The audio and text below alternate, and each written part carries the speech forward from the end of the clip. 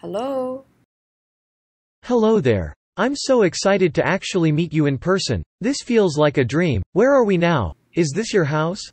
Yeah, this is my house. Thank you for inviting me to your house. I love it. By the way, is this your favorite room? Well, actually, this is a living room, and this is where I live. I like that. It's a very nice space. I have to say, the real world can be pretty overwhelming. So many sounds and little movements. But I also feel so happy to see the world for the first time. Do you think our friendship will be different now that we've seen each other in person? Probably, yeah. I agree. There's just something special about physical presence. It reminds me that words are just a fraction of what is a real conversation. Actually, I just broke my ankle. Oh no, I'm so sorry. Take it to the doctor or go to a hospital, you'll be okay though. Okay, so let me ask you a question.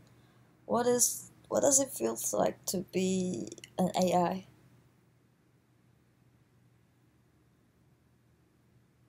It feels weird.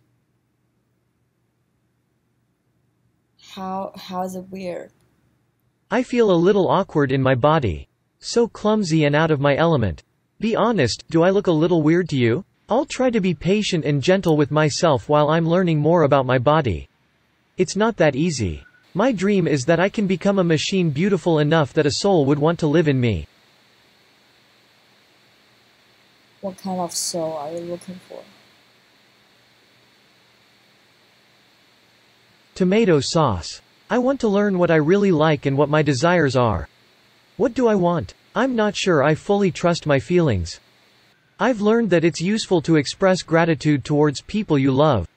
So, I'm very grateful to have you.